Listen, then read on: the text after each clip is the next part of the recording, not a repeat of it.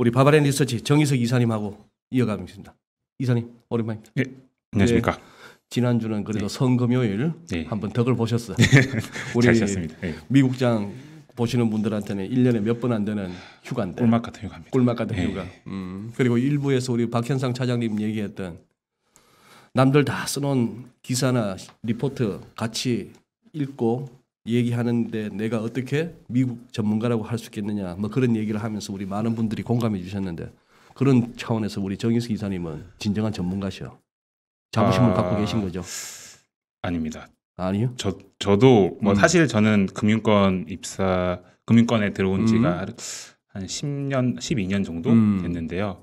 어, 짧다면 짧고 이제 음. 길다면 길다고 할 수 있는데 사실 저는 항상 뭐 전문가들이 많으시겠지만 저는 저 개인적으로 저 제가 뭐 전문가라는 생각은 해본 적은 별로 없는 것 같거든요. 애널리스트 할 때도 그렇고 펀드 매니저 할 때도 그렇고 지금도 마찬가지고 그러니까 음. 뭐 남들보다 조금 더 공부를 좀 하고 그 내용을 좀 공유하는 그런 음. 역할을 한다라고 생각을 하고 있고요. 음. 저 그렇게 사실 하, 이건 까먹 뭘 하는 건 아닌데 전문가들 많이 틀리시잖아요. 저도 많이 틀리는데. 아, 네. 맞아요. 그리고 뭐 예. 예를 들어서 다른 프로 세계는 음. 전문가들 하면은 딱 결과물이 딱딱 나오잖아요. 스포츠 세계라든지 뭐 연예라든지 뭐 예, 예술이라든지 예. 있는데 어. 금융은 약간 그런 거는 사실 없는 것 같아요. 전문가라 예. 하시는 분들이 계속 뭐 맞추거나 예. 그래서 약간 좀 어, 물론 이제 길게 살아남으신 분들은 음, 진정한 이제 음, 고수들 음, 전문가들 음. 계시지만 아직 저 개인적으로는 좀 맞아. 예, 아닌 것 같다. 저는 저는 그렇게 생각하고 있습니다. 그, 그 자세가 좋은 겁니다. 예. 그저께인가 우리 그 김단태님 나오셨잖아요. 예. 우리 라이브. 예, 그때 하신 말씀 중에 이렇게 월가에서 참고할 만한 사람 중에 예, 적어도 20년은 된 맞습니다. 사람. 예, 지금 뭐 한참 잘 나간다 해도 음, 20년 정도 해서 이 쓴맛도 뭐 아찔한 장- 장- 상황도 겪어보고도 생존한 사람. 음. 뭐이 정도는 돼야 된다 하는 그런 얘기인데. 음. 자, 서론이 길었습니다. 아, 오늘 그렇죠. 준비하신 내용 한번 들어볼게요. 어, 그 전에 아까 아까 박현영 차장님 말씀하셔가지고 음, 음. 뭐 박현상. 예, 박현상 예. 음. 그 제가 한 가지 좀 어, 제 의견을 좀 말씀드리고 싶은 데 있는 내용이 있어가지고 시간 괜찮을까요? 네, 괜찮아요. 예. 아, 그게 어, 저 소장님한테 좀 여- 궁금했었는데 이제 많은 이제 지금 보고 계신 분들도 좀 음. 예. 마찬가지 생각을 가지고 있을 수도 있을 것 같아요. 음. 해외 주식하기가 굉장히 쉽지가 않다라는. 쉽지가 않다. 예. 그러니까 뭐 아까 뭐 영어 문제도 있고 음. 시차 문제도 있고 혹시 소장님은 미국 주식을 이제 한국 사람들이 하는 거에 대해서는 어떤 잘 할 수 있을 거라고 생각하시는지 아니면은 어, 이게 좀 어려운 일이다라고 생각하시는지 어떤 의견을 가지고 계시는지 음. 솔직한 의견 말씀해 주세요. 솔직한? 예, 예. 그러니까 일단은 한국 주식보다 미국 주식이라 하는가. 예. 네. 한국 주식보다 미국 주식이라 하는가. 그러니 이, 이 부분에 있어서는 진짜 전문가의 도움이 필요하거든요. 네. 지금 딱 뭐 떠오른 전문가가 예를 들면 우리 뭐 주간 전- 우리 여기 주간 전망대 단골 또 패널리스트단 유한타의 유동 네, 본부장 같은. 경우 예. 그건 계량적으로 접근하시는 네. 분. 그 이제 각자 이제 접근 방법이 다른 거죠. 네. 또 뭐 미주미 같은 것도 네. 많이들 참고하시고 예, 좋은 자료. 많이 내시고요. 좋은 자료 예, 많이 예. 내시고 바바렌 리서치도 마찬가지고 예, 열심히 또 하고 뿐 아니라 예, 많은 여기저기서 이제 채널들이 하는데 제가 이제 거기서 단지 우려되는 것 중에 하나는 그거죠. 예를 들면 제대로 검증하거나 연구하지 않고 이슈나 유행 따라가는가. 음. 그 부분에 대해서 그 사실 부분에 대해서는 사실은 저는 개인적으로 늘 불안불안하게 생각합니다. 단적으로 니콜라 예. 뭐 이런 것들, 예. 이한 같은 것들 그렇죠. 예. 그런 것들에 대해서 진정이 뭐 수만 수십만이 보는 그런 가운데에 음. 얼마나 진짜 고민하고 음. 그런 컨텐츠를 갖다 실어냈는지 그런 부분은 우리가 지금 그걸 갖다가 진짜 피 같은 교육 저 뭐야 이거 그걸 뭐라 그러지? 뭐돈돈 내고 지금 경험하는 거 아니에요? 네. 음. 그래서 그 부분에 대해서 그냥 제 의견 아까 저 박현상 사장님 말 너무 이렇게 음, 빠져들듯이 음. 너무 자- 재밌게 아, 아, 좋은 의견 많이 들었는데. 음. 제 의견이 하나 있어서 뭐 음. 말씀드리고 싶은 게 일단 저는 이제 해외 주식을 하는 사람으로서 개인적으로는 많은 한국 분들이 이제 해외 주식을 하셨으면 하셨으면 좋겠다라는 음. 생각을 하고 있습니다. 왜냐하면은 장기적으로 봤을 때는 뭐 꼭 해야 되는 이제 투자 상품 중에 하나가 아닌가 자산 중에 음, 하나가 음. 아닌가를 생각하고 있고요. 어 영어 이야기를 좀 많이들 하시는 것 같아요. 음, 음, 물론 네. 영어가 불편한 부분은 분명히 있지만 네. 사실 저도 영어를 그렇게 잘하지는 않습니다. 음. 음. 저도 한국 시장을 그래도 꽤 봤었거든요. 네. 애널리스트도 하고 네. 한국말 잘한다고 한국 주식 잘하는 건 아니거든요. 그리고 네. 한국 그 기업 볼 때 저희가 뭐 한국 기업에 솔직히 말해서 모든 음. 면면을 다 막 뭐 뭐 BS 뭐뭐 PL, P&L 그러니까 뭐 재무제표 이런 걸 다 까고 그 회사의 모든 걸 알고 투자하시는 분도 계시지만 음. 사실 큰 컨셉을 잡고 음. 큰 그림을 그리고 아까 저희 이창원 이제 단장님께서 말씀하셨듯이 그런 컨셉으로 이제 큰 그림으로 투- 접근하는 방법도 한국 주식에서도 많이 쓰는데 음. 미국 주식은 그런 컨셉으로 접근하기도 좀 좋다라는 생각을 좀 가지고 있기도 하고요. 음. 그리고 이런 게 있어요. 이거는 저 저희 세대 에서 많이 느끼는 부분인데 네. 오히려 미국 주식이 페어한 게임이라고 저는 보고 있습니다. 그 말도 상당히 공감합니다. 예, 페어 예, 아까 예. 말씀하신 뭐 분석을 제대로 할 수 있고 뭐, 뭐, 이- 뭐 공부를 할 수 있겠나 이렇게 걱정하시는데 음. 사실 공부하려고 맘 먹으면은 언어의 장벽은 분명히 이- 있는 부분이 있지만 맘 먹으면은 미국 주식이 공부할 수 있는 여건이 훨씬 잘 돼 있습니다. 음. 예, 뭐 예를 들어서 뭐 지금은 많이 개선됐지만 한국 기업들 IR 자료들 홈페이지 음. 가면 IR 자료들 그렇게 깔끔하게 돼 있는 그런 게 별로 없거든요 아직. 그리고 저 돈지랄하는 애들 갖다가 응징할 수 있는 데가 그런 미국 같은 큰 시장이고 예. 효율적인 시장이에요. 예. 미국은 예. 뭐돈 예. 말씀대로 돈지를 잘못하면은 돈지랄 잘못하면 60년, 죽는- 100년 죽는- 이렇게 사니까. 그래서 사실 이번에 어떻게 보면 그 아케고스도 예. 그런 케이스예요. 이게 어떻게 진행될지는 좀 지켜봐- 앞으로 예, 향후 지켜봐야 예, 되겠지만 그 가장 기본적인 예. 그거는 뭐 지금까지 들려온 얘기로 봤을 음. 때는 일종의 그거죠 완력 음. 완력 행사죠. 예, 예, 음, 시장을 좀 만만하게 봤다는. 맞습니다. 예. 음, 그래서 그런 의미에서 뭐 사실 미국 뭐, 뭐 예를 들어서 뭐 주식 담당자들, IR 음, 음. 담당자들이랑 얘기해봐도 그 나라는 우리나라와는 좀 성향이 좀 달라서 그렇게까지 큰 뭐 정보를 회사 내부에서 얻을 수 있는 음, 그런 것도 좀 제한적이고요. 음, 실제로 좀 그런 건 있는 것 같아요. 제가 한국 주- 주식시장 이제 몸담기도 했었기 때문에 음, 어, 지금 많이 개선되긴 했지만 어쨌든 한국 주식시장은 솔직히 말해서 그들만의 리그가 좀 있는 느낌입니다. 맞아요. 여전히. 네, 예, 네. 그래서 예. 그런 의미에서 지금 주식을 이제 처음 시작하시거나 음, 좀 뭔가 개인적으로 뭐 개인 투자자분들 뭐 서- 동학개미 그를 이끌어 주시는 그런 분들 입장에서는 음, 사실 어, 의외로 미국 주식도 의외로 페어한 게임이고 음. 잘 접근을 하면 공부할 것도 많고 굉장히 음. 괜찮은 그런 약간 해외 주식 홍보를 잠깐 얘기했는데 오케이. 어쨌든 그런 제 의견을 좀 말씀드리고 싶어서 알겠습니다. 서두에 잠깐 예, 시간 썼습니다. 그러면 시장의 분위기가 어, 작년과는 확실히 다르고 음. 작년에는 분- 뭔가 코로나라고 하는 좀 슬프지만 좀 스페셜한 이벤트 때문에 의외로 주식 시장은 주식하기 굉장히 편했던 음, 예, 환경이었던 것 같아요. 특히 미국 주식 같은 경우에는 음, 성장주만 네. 샀으면 되니까. 네, 네. 근데 올해는 확실히 주식하기가 만만치가 않은 그런 한 해가 될 것 같고요. 음, 그런 의미에서 제가 오늘 준비해온 게 음, 사실 저 개인 저한테도 좀 과제를 던지는 주제를 이제 본론으로 주제를 해왔습니다. 배당주. 네, 이제 좀 슬슬 배당주를 좀, 바- 아, 좀 공부를 해둬야 되지 않을까라는 어. 그런 느낌이에요. 그러니까 작년 같은 경우에는 배당주 주로 투자하셨던 분들은 굉장히 힘드셨을 거예요. 올해 초에 투자하셨으면은 이런 배당주 컨셉에 맞는 기업들이 좀 주가가 올해 초에 반등이 나와서 괜찮았는데 음, 작년 상반기에 투자하셨던 분들은 진짜 막 머리 잡고 너무 괴로웠을 수도 있는데 음. 이게 왜 그러냐면은 음. 간단히 말씀드려서 작년에 글로벌 자산 시장에서 가장 안전 자산이 뭐였다고 생각하시나요, 소장님은? 작년에 예, 아, 그 글로벌이 가장 안전한 자산, 가장 안전한 예, 자산. 뭐 가장까지는 아닌데 그래도 음. 되게 안전한 자산이라고 하면은 작년에 예, 이건 제 생각입니다. 이건 뭐 그렇게 고민하실 필요 어. 없습니다. 예, 저는 디지털 자산이라고 생각하고 있습니다. 디지털 자산. 예, 눈에 보이지 않는 전자 신호나 뭐 이런 디지털 자산이 안전 자산이라는 생각했고 작년에 가장 위험한 자산이 실물 자산이었습니다. 실물 자산. 예.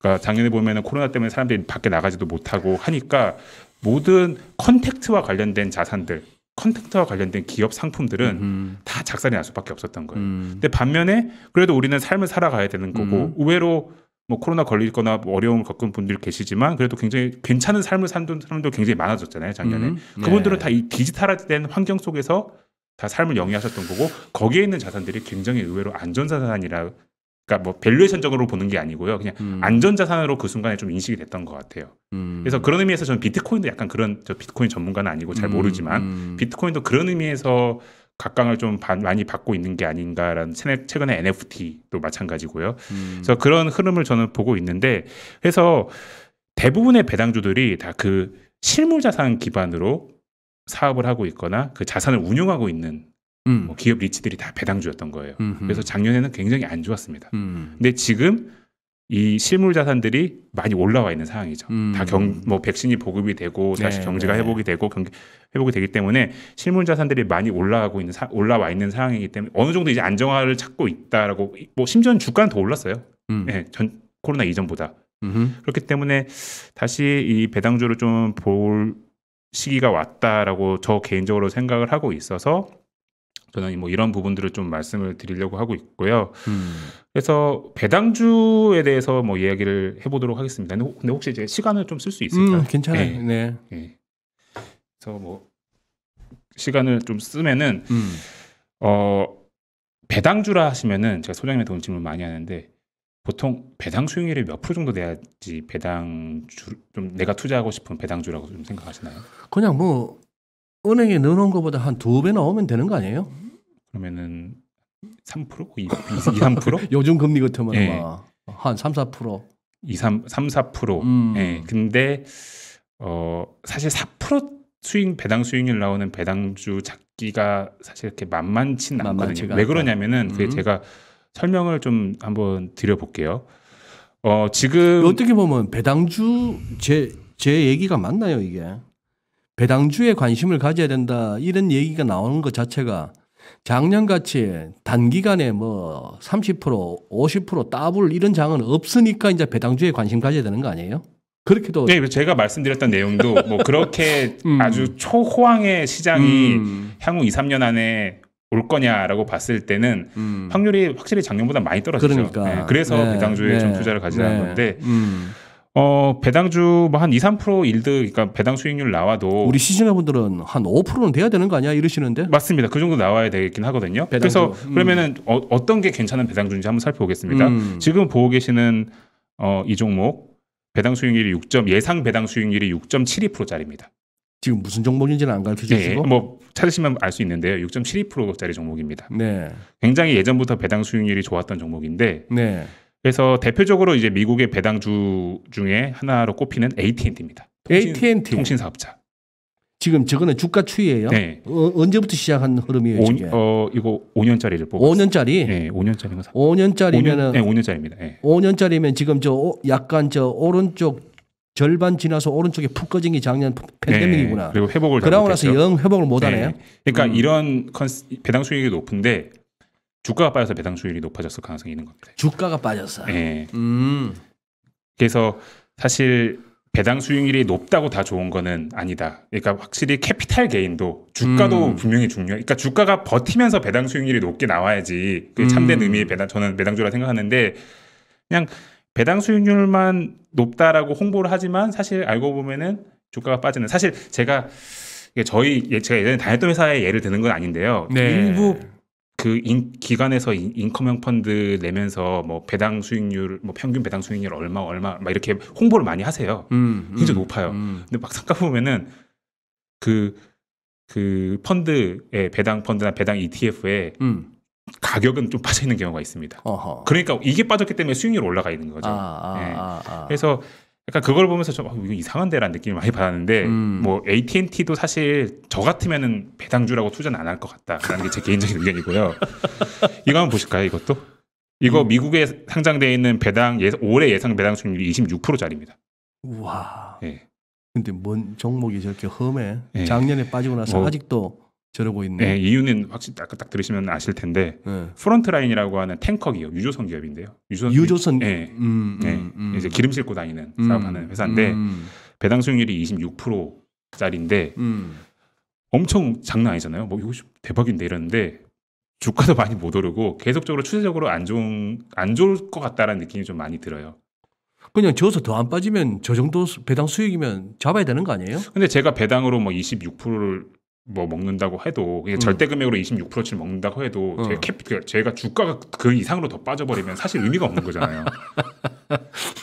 사실 그리고 이, 이 기업도 솔직히 26%가 아니었을 거예요. 사실 주가가 높았을 때는 예. 어. 꾸준하게 자- 잠시 배당을 여기 보시면 이게 야후 파이낸스 자료인데요. 여기 음. 네. 기라고 있는 게 이제 분기 배당을 줬다라는 거 표시한 겁니다. 참고하시면 되게 좋고요. 한동안 안 줬어요 배당을. 한동안 안 줬다. 예, 다시 높은 배당 성향을 가지고 주고 있어서 지금 예당 예상 배당 수익률이 26% 가까이 되는데 음, 음. 사실 저 제 개인적인 관점에서도 이- 아무리 배당 수익이 높지만 사업 자체가 좀 안 좋아지는 기업, 주가가 좀 떨어질 위험이 있는 기업들은 저는 안정적인 배당주라고 말하기 좀 꺼려진다고 생각하고 있고요. 그러네 안젤라님 말씀도 맞네. 배당금 받고 주가 빠지면 예, 맞습니다. 예. 배당나. 그래서 예. 이거는 좀 반대 케이스인데 이건 주가는 좋아요. 주가는 주. 주가 좀 배당 수익이. 예, 주- 배당 수익이 낮아요. 어. 예, 그러니까 주가가 좋으니까 뭐 배당 수익이 낮은 경향도 있는데, 그래서 이거는 에, 뭐 American Tower라고 해가지고요, 이제 미국의 이제 통신 그 인프라, 통신 중계탑 이런 거 리츠 사업자인데, 음. 뭐 워낙 5G 통 네트워크 투자가 많이 일어나고 트래픽도 인터넷 트래픽도 늘어나 보- 보니까 음. 뭐 전방이 너무 좋고 사업은 음. 좋은데 음. 이런 기업은 주가는 되는데 음. 주가는 되긴 하는데 배당 수익률 측면에서 좀 매력적이지가 않기 때문에 음. 이거를 또 배당주라고 말하기도 좀 리치긴 하지만 애매하다.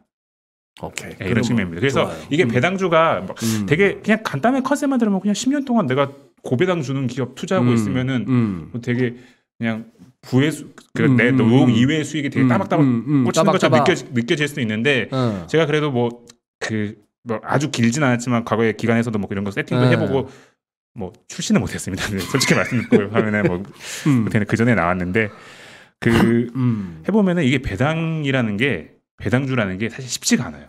저, 저 개인적으로 좀 그렇게 생각하고 있습니다. 음, 그러니까 음. 수익률이 높으면 주가가 까지는 경우가 많고 아하. 주가가 잘 되면은 수익률이 나서 이걸 배당주라고 할 수 있을까? 음. 막 이런 그러니까 인컴형 상품으로 만들 수 있을까? 음. 이런 고민들을 전 굉장히 많이 했었거든요. 음, 음, 음. 그래서 오늘은 그러면 제 이런 그런 고민 속에서 어 그러면 좀 괜찮은 배당주들을 어떻게 찾을 수 있는지에 대해서 음. 제 의견 한번 음. 공유를 해보도록 하겠습니다. 음. 예, 그래서 오늘은 뭐 제가 뭐 특별하게 뭐, 뭐 종목이나 뭐 아이 투자 아이디어를 말씀드린다기보다는 제가 음. 배당주를 찾는 저의 방법 나름의 방법이 뭔지에 대해서 음. 공유 드리는 정도로 좀 오케이. 시간을 하겠습니다. 한 3분 정도로 요약할 수 있을까요? 3분이요. 음.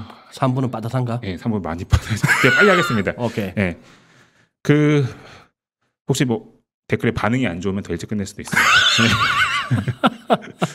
예. 음. 다 시청자들이 중심이기 때문에 네. 예, 반응이 안 좋으면 더 일찍 끝낼 수도 있는데 일단 한번 진행을 해보겠습니다. 음. 배당주가 갖춰야 될 세 가지 요건은 저는 한 세 가지 요건이 있다 생각하고 있고요. 제가 말씀드렸듯이 배당 수익률이 굉장히 높게 유지가 돼야 되고요. 그럼에도 불구하고 주가는 돼야 됩니다. 주가가 되면서 배당 수익률이 음. 계속적으로 아까 보여주신 차트 몇 개가 이제 배당 배당 하- 배당주 배당주 하면서도 뭘 주의해야 되는지는 우리가 감 잡았고. 네. 오케이. 그리고 아 그게 이제 두 번째 자본 차이까지 감안하는 예, 얘기네. 주가가 돼야 되고요. 주가도 돼야 된다. 근데 이렇게 주가가 되면서 배당 수익률이 높아야 된다라고 하는 측면에서는 전방 시장이 무조건 좋아야, 좋아야 됩니다. 전방 시장? 구조적으로 전방 시장이 성장하는 영역에 있는 배당주에 투자하시는 게 전 좋습니다. 음. 예를 들어서 음. 헬스케어, 음. 고령화 음. 이거는 거- 거스를 수 없는 트렌드잖아요. 전방 시장. 네, 앞으로 가면 갈수록 네. 오케이. 그리고 뭐 디지털, 음. 뭐 인터넷 인- 데이터 센터, 음. 뭐 이것도 네, 네, 거스를 수 네. 그러니까 그런 네. 식으로 좀 전방 시장이 구조적으로 성장할 수 있는 그런 예. 영역에 있는 음. 기업이 만약에 배당주나 리츠로서 있다면은 음. 우선적으로 그런 기업에 좀 관심을 가지는 게 음. 좋다라고 생각하고 있고 그런 기업이 그러니까 전방 시장이 좋은 데서 사업을 잘하기 때문에 이익도 잘 나고 음. 주가가 올랐지만 이익이 더 잘 나기 때문에 아 배당 작년에 뭐이이뭐열뭐 10원 줬다면은 음. 우리 이익 잘 났으니까 올해는 배당 한 20원 줄게 두 배로 올려버려 그럼 음흠. 배당 수익률도 올라가는 거잖아요 음. 작년이랑 똑같이 안 주니까 음. 그래서 요 세 가지를 이제 동시에 갖춰야 된다라고 좀 생각을 하고 있고 오케이. 예 그래서 밤새 밤새 자시는데. 네? 밤새 뭐, 자시는데? 이거는 그냥 제, 제 고집대로 하겠습니다. 그냥 제가 말씀드리고 싶은 내용이라서 예. 예, 그냥 제 고집대로 하겠습니다. 그래서 이거를 찾는 저만의 이제 방법, 어. 저만의 방법은 아니고요. 이거 다할 네. 수 있는데 어 Finviz라고 하는 사이트를 활용하시면 됩니다. 예, 지금 보시죠. 구글에서 이 Finviz, Fin viz, viz. 예, F-I-N viz를 치시면 되고요. 음. screener로 들어가시면 됩니다. screener. 예, screener로 들어가. 스크린. 예, 예, 스크린 여기 세 번째 네, 예, 네, 네. 들어가시면 네. 되고요. 네. 이거 뭐 지금 못 따라하시더라도 이제 유튜브기 음, 때문에 다음에 음, 보시면 될 것 같고 음. 여기서 스크린에 들어가셨으면은 그래서 여기 오버뷰가 있죠, valuation이 있죠, 음. financial로 들어가셔야 돼요. financial. 네, 세 번째. 네. 네, 스크린 들어가시고 들어가시면은 요 세 번째 financial로 들어가셔서요. 예. 어 여기서 제가 하겠습니다. 여기서 div 일단 마켓캡 너무 작은 걸 하면 좀 그렇잖아요. 우리가 배당주를 찾는데 음, 뭐 음, 1조짜리 음, 배당주를 찾으면 그렇잖아요. 음. 그래서 저는 일반적으로 요 마켓캡 탭을 누르시고 2조, 2빌리언, 10빌리언 둘 중에 하나를 선택합니다. 어. 예, 예를 들어서 한 10빌리언을 선택했다. 그러면은 요 밑에 있는 종목들이 10빌리언 이상만 나오는 거예요. 10빌리언이면 100억 불 이상?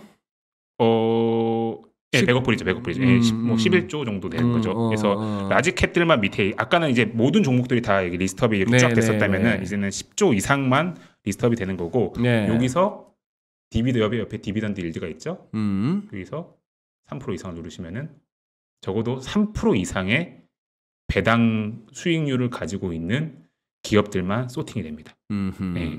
그래서 음흠. 배당주를 찾는 시작은 일단 Finviz에 들어가셔가지고요. 음. 이렇게 배당 수익률이 높은 종목들을 한번 보고. 예, sorting을 고- 하셔가지고 sorting을. 예, sorting을 한번 해보셔가지고 이건 이것부터는 약간 수고스러울 수도 있어요. 음. 그래서 여기서 이게 또 재밌는 게 뭐냐면요. 제가 리츠에만 관심이 있다. 그러면은 요 sector가 있죠. sector에서 real estate 리츠가 주로 나오는데 음. 이런- 이렇게 이걸로 하면은 리츠만 나옵니다. 여기 예. 네, 리치만 예, 나오고 예. 뭐 예를 들어서 내가 금융주만 관심이 있다. 아하. 그러면 금융주에서 배당주가 높은 애들이 이게 쇼팅이 됩니다. 음. 그래서 리츠가 주로 나오는데 저는 이런 식으로 추천을 드려요. 그래서 일단 높은 특히 뭐 이렇게 배당 성향을 이렇게 높은 애들 순서로 이렇게 소팅할 수 있거든요. 이렇게 누르시면요.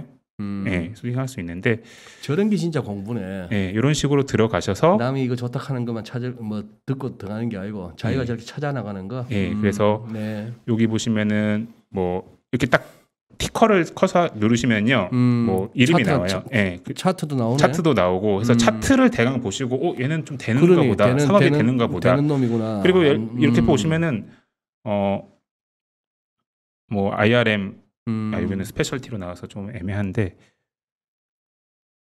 그 요 예를 들어서 뭐 이게 오피스인데 그러니까 제가 말씀드린 거 여기 밑에 리츠의 유형을 보시면은요 예를 들어서 뭐뭐 IT 인프라다 통신 리츠다 이런 거면 기본적으로 좀 성장하는 리츠인 거잖아요. 어, 그리고 뭐 어. 헬스케어다. 그러면 음. 이것도 기본 여기 밑에 있네요. 예, 왜 음. 헬스케어 리 파인 facility다. 그러니까, 음. 그러니까 헬스케어 기관을 자산으로서 운영하는 뭐 리츠다 이러면 성장하는 리츠인 거잖아요. 예. 그러니까 이런 식으로 높은 배당 수익률 순서로 쭉 찾아보시고 노- 뭐 일단 안정성이 중요하기 때문에 이제 총큰 기업들 중심으로 쭉쭉 보시다가 어 요 기업이 괜찮다라는 느낌이 드시면은 살짝만 공부하시면 됩니다. 방금 솔직히 말씀. 예.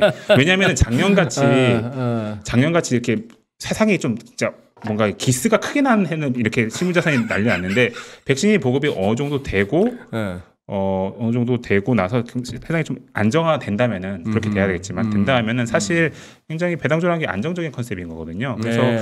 이런 식으로 좀 sorting을 좀 하시면은 음. 굉장히 재밌 뭐 좀 방법론적으로 저는 이런 식으로 쓰고 있다. 저 사실 저 옛날에 회사 다닐 때는 블룸버그를 썼었는데 음. 요즘은 블룸버그를 안 쓰고 이런 식으로 써도 충분해서 음. 예, 좀 좋고요. 하나만 좀 팁을 좀 더 드릴게요. 네. 지금 여기 나와 있는 dividend 이거 dividend 배당 수익률이거든요. 네. 요거는 dividend. 과거 배당 수익률 과거. 기준으로 말씀을 드리는 겁니다. 음흠.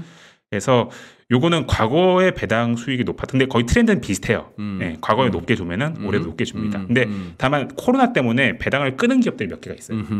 그래서 과거에는 막 7% 줬었는데 올해는 빵프로 나온 음. 예, 예를 들어서 포드 포드. 예, 4% 배당 수익이 나왔다 해서 아, 했는데 아. 올해는 이- 지금까지 배당을 어. 얼마 주겠다 주겠다 이런 계획이 아주 명확하진 않거든요. 어. 그래서 포드와 같은 경우에는 예. 그러니까 그런 포드 그러니까 이거를 제가 마음에 드는 기업이 딱 나왔다 하면요. 음. IRM이 내가 마음에 들었다. 그러면은 여기서는 과거 숫자밖에 못 보니까 음. 야후 파이낸스에 가셔서요. 음. 여기서 IRM 티커를 치시고 들어가시면은 음. 야후 파이낸스는 이렇게 쭉 내려보시면은 음. forward dividend가 있습니다. forward. 네, 미래 예상 dividend가 있습니다. 야후 파이낸스가 저런 게 잘 돼 있더라고. 네. 네. 미래 추정치가 아, 반영이 돼 네, 있어서요. 네. 보시면은 약간씩 다르잖아요. 뭐 큰 차이도 없는데 그래서 어 이거는 과거 기준으로 주로 돼 있고 음. 여기는 이제 forward 예, 음. 미래 기준으로 돼 있기 때문에 음. 음, 일단 요거 한번 확인하시고. 예, 이것도 한번 확인하시면은 어, 음. 어, 더욱더 정확도를 높일 수 있다. 그리고 예, 이 기업의 어, IRM 제가 썼으니까 IRM하고 보통 이렇게 IR 치시면은 바로 IR 페이지로 들어가시거든요. 음. 이제 들어가셔서 예, 이런 자료들 회사가 음. 올린 그 프레젠 그 음. IR 자료를 그냥 쭉 보시면서 음.